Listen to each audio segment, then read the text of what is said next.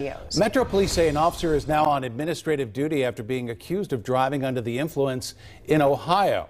A statement from IMPD says Sergeant Peter Feckus is accused of the incident while he was off duty last week. We've reached out to the Ohio State Department Highway Department to get more information on the case. An off-duty reserve officer from Stinesville was arrested this weekend. Metro Police say Doug Rutuski hit a vehicle and then left the scene on Indy's south side. Police say Rutuski was driving his patrol cruiser and rear-ended another car before driving off and hitting a construction barrier.